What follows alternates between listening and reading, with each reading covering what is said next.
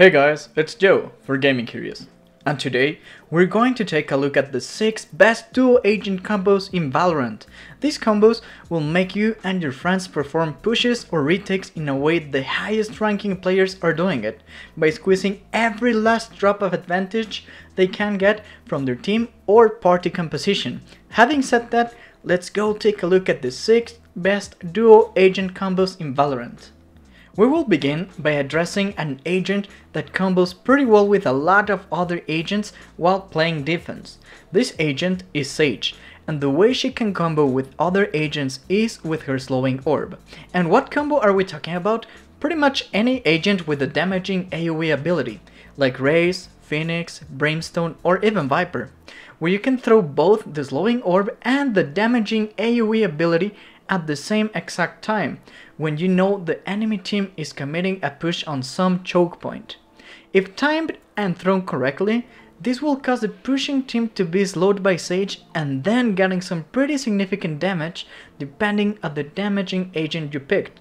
This combo most likely won't get you a kill, but will make the enemy team pretty weak, making it easier for you and your team to finish them off. This can also work whenever they are planting the spike, making it, it a bit easier to play retake after the spike has been planted. The biggest strength of this combo is that it is not a one-trick pony. You still got a wide arsenal to use before and after you commit to this play. Our next combo also leverages Sage, but this time not her slowing orb, but her wall, and this combo is with Phoenix.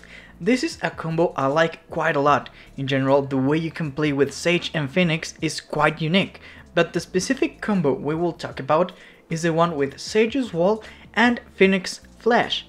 This is a way you can gain a better position for your Phoenix to flash in a better place, and the awesome thing with this is that the flash can be thrown from the sides or it can be thrown from above or below the wall, depending on the wall's placement of course. And as with the last combo, this is not a one-trick pony, and it is pretty good on attack or defense. And the good thing about having a Sage and a Phoenix together is that it really allows the Phoenix to push in a really aggressive way, and not be punished as hard by getting lit by the enemy team, since Phoenix can heal quite a bit by himself, and then he can get healed again by the Sage making him a pretty strong ally of Sage. The coming combo is something that your team will actually appreciate even if it works or not. We're talking about the combo that can be done with Cypher and Sova. This duo brings a lot of vision to the team and probably one of the best defense and retake duos there is in the game. But there is a specific combo that can be performed with this duo and that can be performed in more than one way and it is aiding Sova on landing as many hits with his ult as possible.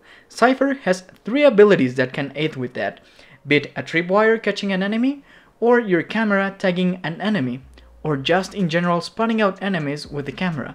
And of course, Cypher's ultimate ability. That is probably the worst of these three for this specific purpose, but it can aid nevertheless. Picking this duo is never going to be frowned upon, so don't be afraid to pick this agent combo and you might be surprised at how fun it is to play them. Even if they are not as flashy as some other entry fraggers in the game, this duo will prove to be pretty fun to play with. We got another combo lined up for Cypher, and it is one with Omen. Omen is a pretty fun agent to play with, but his abilities sometimes are kind of underwhelming. But there is a way to aid him in pretty much any time with Cypher, but Cypher can aid Omen specifically while using his ultimate by giving him the best possible place for Omen to ult to. This may sound kind of underwhelming, but being able to ult inside of the enemy lines without being spotted right away has proven to be super useful, especially when the enemy team will most likely be looking for you behind them or some other obvious place in the map. And Omen also brings some aid to Cypher by helping conceal the tripwires when the enemy team is pushing through them, be it by landing paranoia or smoking them. So this is not a one-way kind of duo. This is actually a mutual duo that can perform some pretty good combos. in the game while hiding the tripwires or helping Omen place his ult in the right way. This next combo also involves Omen, but this time we will be comboing Omen with Brimstone. And you may be asking how or why when there is no obvious synergy between them. But that is exactly why this combo is worth trying. Because as you may already know, you can conceal your Shrouded Step as Omen with your own smokes, and this is kind of widely known in Valorant. But you can do pretty much the same with Brimstone smokes, but even in a more aggressive way, and some places that the enemy might not even know there is an Omen at, which is the biggest strength of this combo, hiding Omen's position to the enemy team as much as possible, because giving the least amount of information to the enemy team will make the rotations slower and be more wary about their surroundings if they are not sure of the position of the enemy agents. And let's not forget this doesn't mean having visual confirmation of the agent, but even some abilities confirm the presence of an agent in the area, like could be an omen smoke that could pretty much sell off the presence of the omen in a site. So this is why this combo is so strong. The last combo we will be covering in this video is my favorite one, and it is a combo done with Cypher and Breach.